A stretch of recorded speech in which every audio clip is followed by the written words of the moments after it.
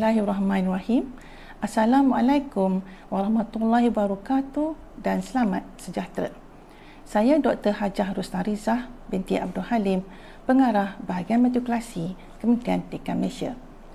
Pertamanya, dalam kesempatan ini, saya ingin mengucapkan tahniah dan syabas kepada semua anak-anak pelajar yang telah berjaya memperoleh keputusan cemerlang dalam SPM 2020 anda yang digelar kumpulan SPM Pro Max ini dapat mencapai kecemerlangan walaupun terpaksa melalui ujian yang getir kesan pandemik COVID-19.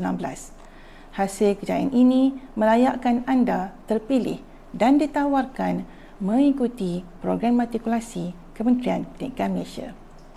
Saya cukup berbangga kerana anak-anak pelajar menyahut cabaran kami untuk bersama-sama merintis kejayaan cemerlang pada masa hadapan dengan mendaftarkan diri sebagai salah seorang warga baharu matrikulasi bagi tahun 2021. InsyaAllah kami akan mensiapsiagakan anda sebagai bakal mahasiswa yang berketerampilan, berpengetahuan, berkemahiran tinggi dan mempunyai sifat kepimpinan yang terpuji.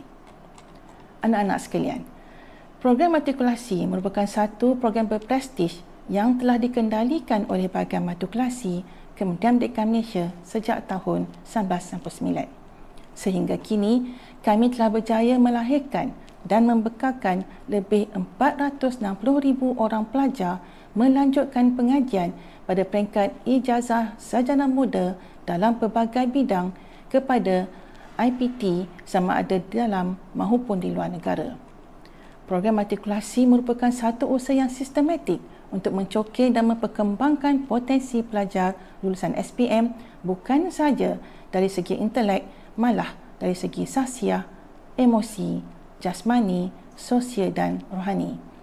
Anak-anak pelajar akan terus digilap secara optimum supaya terus berada dalam kategori pelajar yang cemerlang. Kecemerlangan dalam akademik menjadi keutamaan kami dan akan diperkukuhkan lagi dengan kecemerlangan sosial. Dengan gantian tersebut, sudah pasti IPT berlumba-lumba untuk menawarkan tempat kepada anda bagi menyambutkan pelajaran terutamanya dalam bidang-bidang yang kritikal yang mempunyai kebolehpasaran yang tinggi selepas tamat pengajian nanti.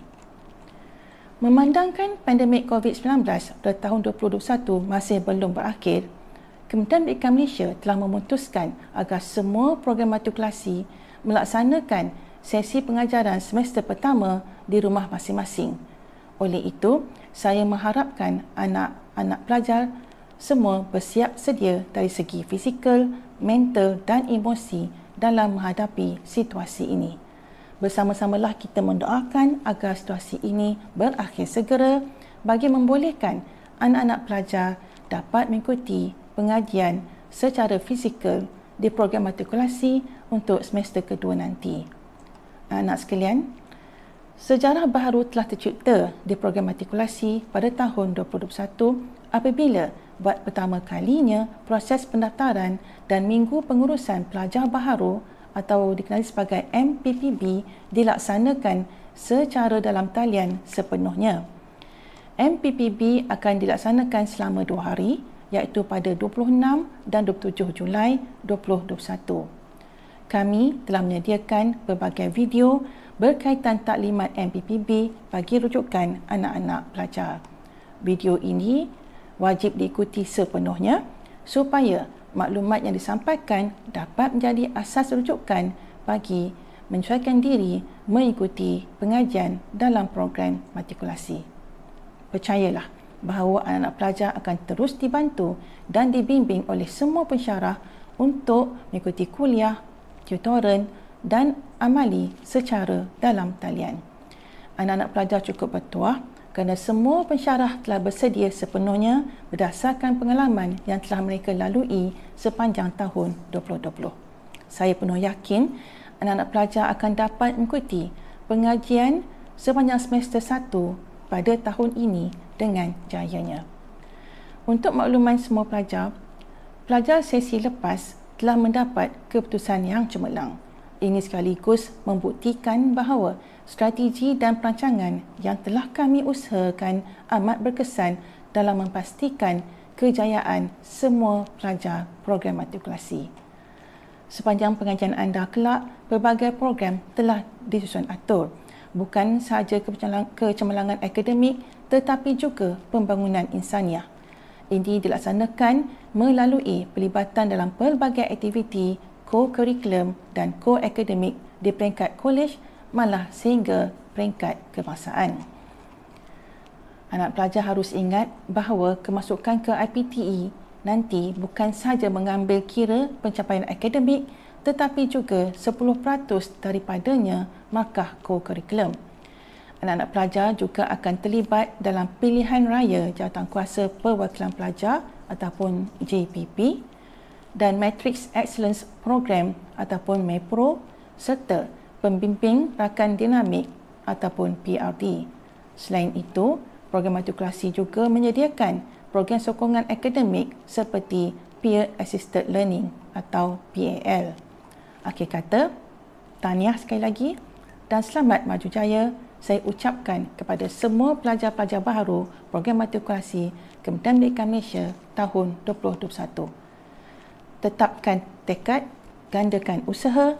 Semoga impian anak-anak pelajar untuk berjaya ke Menara Gading dan memperoleh segulung ijazah akan tercapai sebaik menamatkan pengajian di program matrikulasi. Sekian, wabillahi taufiq wal hidayah. Assalamualaikum warahmatullahi taala wabarakatuh. Terima kasih.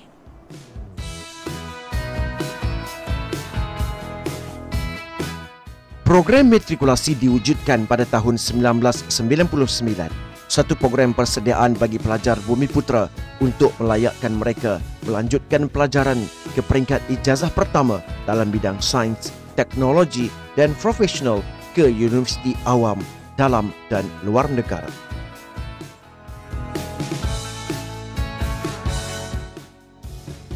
Berdasarkan keperluan semasa bagi menampung pertambahan jumlah pelajar cemerlang mengisi kekosongan tempat di bidang-bidang sains, profesional dan kritikal khususnya pelajar Bumi Putra di Universiti Awam pada tahun 1998 yang amat berhormat Datuk Seri Najib Tun Haji Abdul Razak yang pada ketika itu Menteri Pendidikan telah mencetuskan idea mewujudkan program matrikulasi di bawah kendalian Kementerian Pendidikan Malaysia bagi menyeragamkan semua program matrikulasi dan asasi yang selama ini dikendalikan oleh Universiti Awam. Kumpulan pertama atau perintis program ini pada tahun 1999 terdiri dalam kalangan pelajar Sekolah Berasrama Penuh SPP dan Maktab Rendah Sains Semara MRSM. Pada tahun 1999, dua kolej pertama KPM iaitu Kolej Matrikulasi Melaka dan Kolej Matrikulasi Labuan telah membuat pengambilan pertamanya dalam jurusan sains dan perakaunan. Tempoh pengajian selama satu tahun enam bulan dalam tiga semester. Ini diikuti dengan pengoperasian tiga buah kolej matrikulasi baharu iaitu Kolej Matrikulasi Negeri Sembilan, Kolej Matrikulasi Pulau Pinang dan Kolej Matrikulasi Perlis pada tahun 2000. Program matrikulasi KPM terus berkembang dengan perubahan tempoh masa pengajian dari satu tahun enam bulan kepada satu tahun iaitu program matrikulasi satu tahun PST pada tahun 2002. Ini diikuti dengan pertambahan beberapa buah kolej baru yang beroperasi mulai tahun 2002 iaitu Kolej Matrikulasi Perak dan Kolej Matrikulasi Johor. 2003, Kolej Matrikulasi Pahang dan Kolej Matrikulasi Kedah. 2010, Kolej Matrikulasi Selangor. Mulai sesi 2003-2004, program matrikulasi telah membuka ruang 10% kepada pelajar bukan bumi putra untuk mengikuti program ini. Pada tahun 2008 pula, program matrikulasi 2 tahun PDT bagi jurusan sains telah ditawarkan kepada Bumi Putra sahaja. Kemudiannya, program matrikulasi telah memperluaskan jurusan sains dengan menawarkan aliran teknikal pada tahun 2009. Aliran teknikal ini kini dikenali dengan jurusan kejuruteraan. Tiga buah kolej matrikulasi yang dahulunya dikenali sebagai Kolej Matrikulasi Teknikal dan kini telah bertukar nama ke Kolej Matrikulasi Kejuruteraan telah diamanahkan untuk mengendalikan program ini iaitu Kolej Matrikulasi Kejuruteraan Kedah, Kolej Matrikulasi Kejuruteraan Pahang dan Kolej Matrikulasi Kejuruteraan Johor. Pada tahun 2013, dua buah lagi kolej baharu telah dibuka iaitu Kolej Matrikulasi Kelantan dan Kolej Matrikulasi Sarawak. Peningkatan jumlah permohonan dan pertambahan jumlah pelajar Kolej Matrikulasi telah menyebabkan lebih ramai pelajar cemerlang SPM mampu ditempatkan bagi mengikuti program ini. 15 buah kolej matrikulasi KPM yang beroperasi sepenuh masa pada tahun 2013 dan mengendalikan program matrikulasi.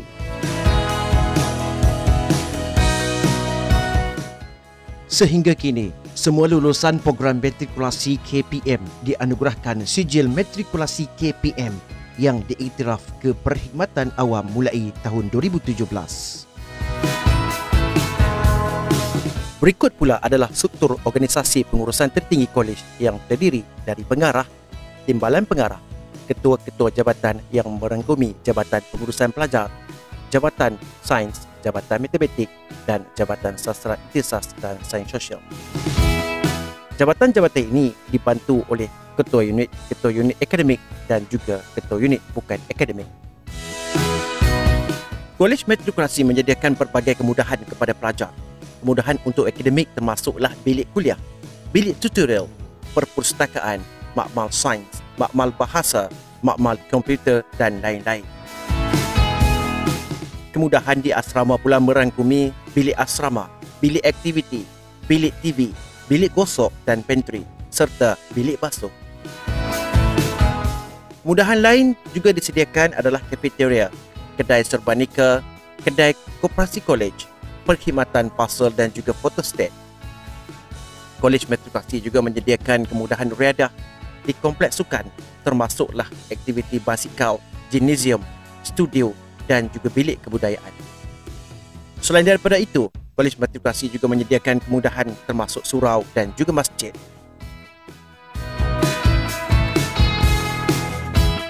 Berikut adalah kalender akademik semester 1 dan semester 2 program matrikulasi 2 tahun Kementerian Pendidikan Malaysia. Minggu pengurusan pelajar baharu akan bermula pada 26 hingga 27 Julai 2021. Sesi kuliah akan bermula pada 28 Julai 2021 sehingga ke 16 Disember 2021.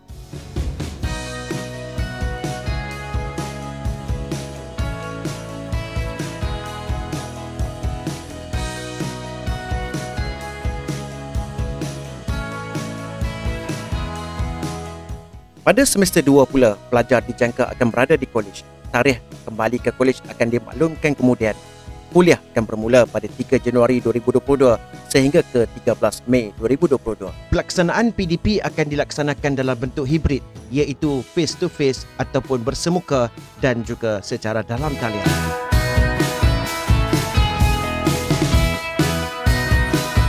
Pengajian di program matrikulasi menawarkan jurusan sains jurusan perakaunan, kejuruteraan dan jurusan perakaunan profesional. Program matrikulasi juga merupakan program fast track yang hanya mengambil masa satu tahun tempoh pengajian untuk ke universiti awam.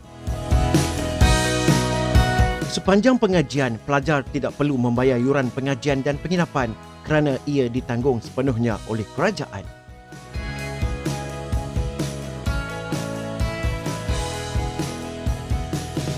Bayaran sara hidup pelajar iaitu RM2,500 tahun akan diberikan kepada pelajar yang layak.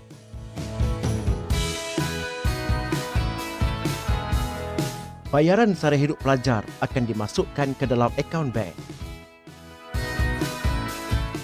Pelbagai kejayaan telah diperolehi di peringkat negeri, negara, malah antarabangsa dari sudut akademik, inovasi, kog akademik dan kog kurikulum pencapaian bukan sahaja dalam kalangan pelajar, malah ianya melibatkan tenaga pengajar dan juga staf kolej matrikulasi.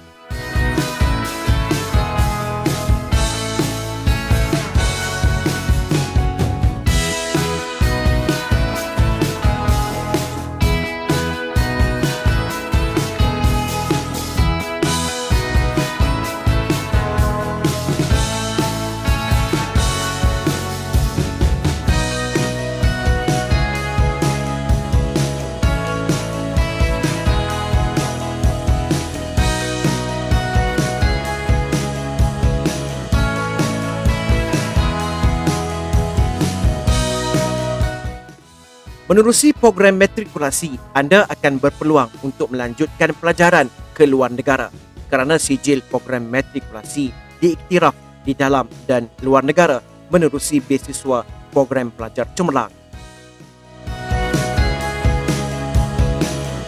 Pengiktirafan program matrikulasi di peringkat antarabangsa meliputi United Kingdom, Australia, Canada, Korea Selatan, Indonesia, Hong Kong, Jepun dan juga New Zealand. Di program matrikulasi, selain memberi fokus kepada akademik, kita juga memberi fokus kepada program kebajikan pelajar.